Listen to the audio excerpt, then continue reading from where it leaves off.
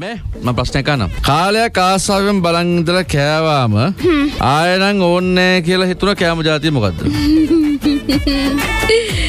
කාලයක් කාලයක් ආසාාවෙන් බලං ඉඳලා ඉඳලා ඉඳලා ඉඳලා ආසාාවෙන් ඉඳලා ඉඳලා තමයි කන්නේ. හැබැ කෑවට පස්සනං අම්මෝ ආයනං එපා කියලා හිතන කෑමමොකක්ද අපේ අක්ක හදන කෑම. එක එක විදියට හදනාහෙන්න කලු පාටට කර කරලා බෙක්කල් හදන්නේ. අක් හදනය කන්නම් බෑන කොහොමත්යවාලගේ ඒවයිල්ල කනවන ඉතින් වෙන ඉට හොඳ කළු කලක් ගිහිල දැත්තලින් හපනක ඔයාගේ අයි හදන කැවුම්. නෑ අප අපි අයි හදනව ලස්සටයි රහට ලස්සන්ට කිසිම කෙනට හදන්න බැරිගාන්ට හොඳ කැවම් හදන හරද කියවෙලා හතයි ගන්න. උන්ද හදන කැවම් පුදුම රහත්තියන්නේ අයහරද වෙන? දන්න නෑ?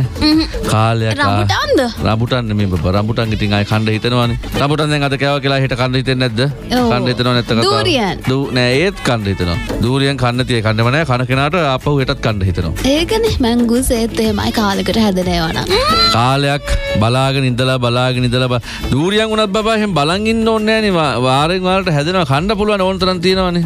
මේක එහෙම නෙමෙයි. මේක කාලේ අවුරුදු ගාණක් තිස්සේ බලාගෙන ඉඳලා බලාගෙන ඉඳලා බලාගෙන ඉඳලා කොහොම හරි කනවා. ඊට පස්සේ හිතනවා අම්මෝ ආයෙනම් ජීවිතේට කන්නේ නෑ කියලා. මොකද්ද? දන්න දීග කෑම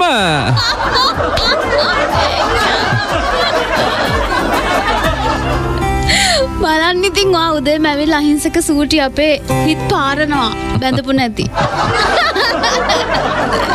තාම කෑවේ නෑන්නේ කාලයක් තිස්සේ බලන් ඉන්නවනේ කණ්ඩ කියලානේ මැරෙන්න කලින් කන්න ලැබුණොත් ඇති එයාට නම් ප්‍රශ්නයක් නෑ. අතන ප්‍රියන්තයට තමයි යෝග කියන්න හිතෙන්නේ. තාම ප්‍රියන්තයට තේරෙන්නේ. ප්‍රියන්තය ආසාවෙන් බලාගෙන ඉන්නවා කාලයක් තිස්සේ. හැබැයි කෑවාම තමයි රජෝ තේරෙන්නේ. අම්මෝ ආයෙ නම් කන්නේ නැහැ කියලා ඉතින්. පිනිදියේ